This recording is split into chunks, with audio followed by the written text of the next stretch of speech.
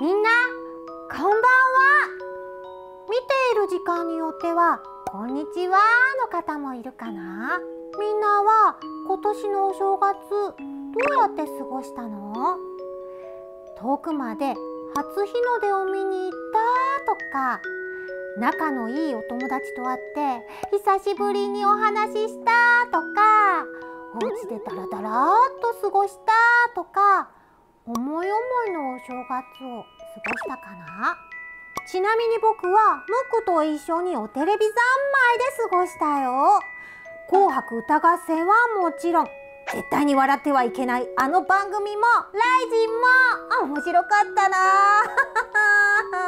でも年末年始みんながお休みしている時にも働いていらした方もいらっしゃるよね。そういうあなた本当にすごいです。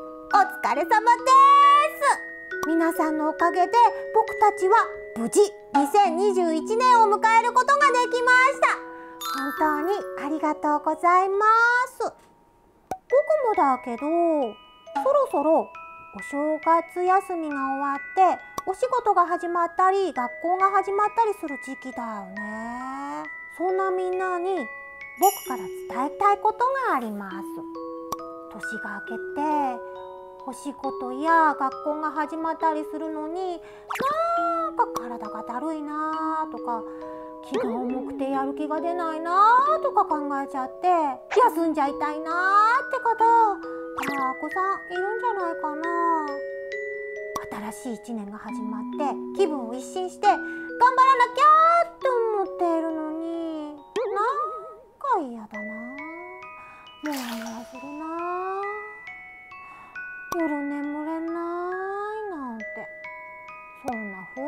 ってしまうそこのあなたあなたは全然悪くない。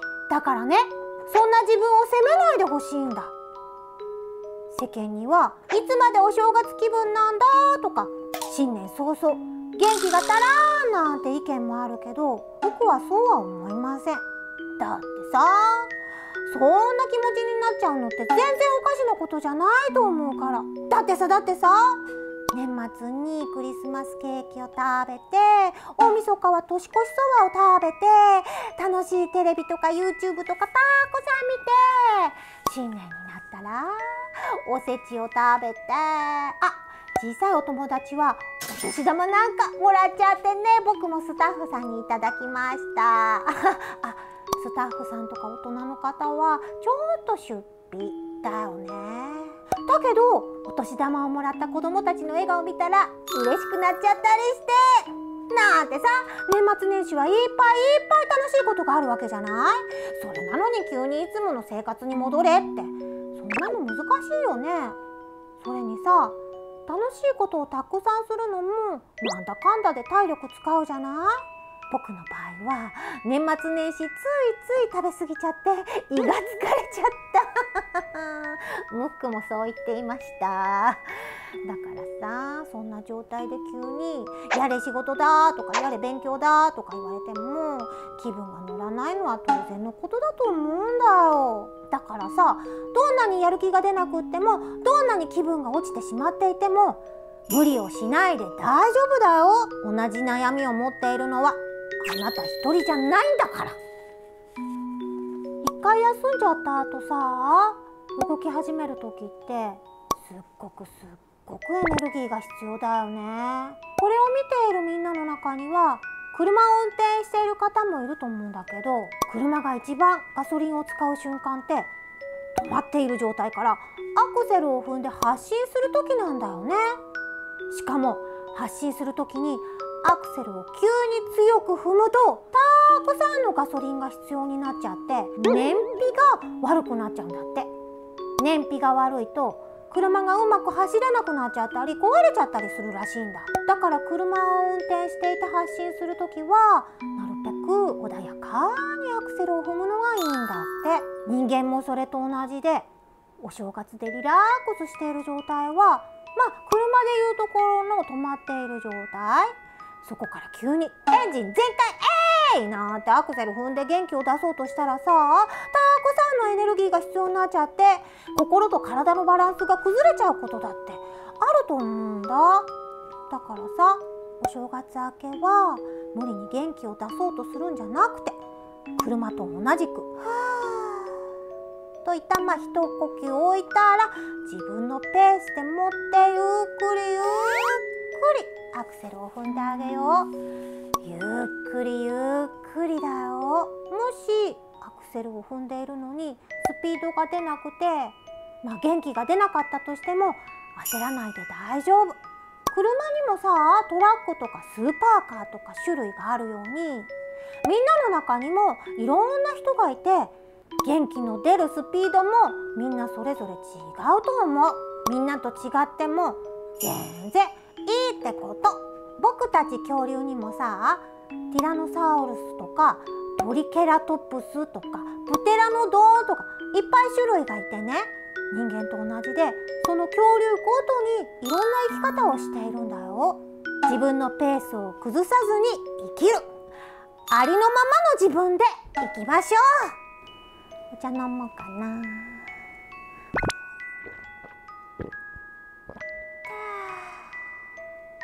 冬ってさくて朝起きれないんだよね。そう思うとさ夜寝るのが億劫になっちゃったりとかする。だって少しでもあったかいお布団の中にいたいんだもん。その時間が終わっちゃうなんて思うと夜眠るのもねとかなっちゃってさ。それでもそんな中しっかり眠りについてちゃんと朝起きる君すごいすごいよ。尊敬するよ。逆にさ僕みたいに明日の朝布団から出たくない自分を想像しちゃって眠りたくないなーってなってる君もちろん全然いいよ。だってさクマさんとかリスさんとか野生の動物さんだって冬はさずーっと寝ちゃうじゃん。冬眠って言うんだよね。僕も寒い日はずーっとお布団で寝ていたよ。あそうだ。いっそみんなも僕も冬眠を導入しちゃうっていうのはどうかな？みんなもさ朝起きられない時は何もしないでお布団に入って温まっていて OK クマさんやリスさんを見習って冬眠しちゃっていいと思う。だから明日の朝起きるのつらいなーって理由で眠れないくらいなら全部やめにして冬眠しちゃおう。明日のことは全部やめにする。時間通りに起きられたらまあラッキーっていう気持ちでお布団に入りましょう。でもさ会社も学校も必要ないって言ってるわけじゃないんだよ。眠れないとみんなの心も体も壊れちゃうから本当に一番大事なのはみんなの心と体の健康だからね。僕が言いたいのはその健康が守られないなら学校も会社も休もうよってこと。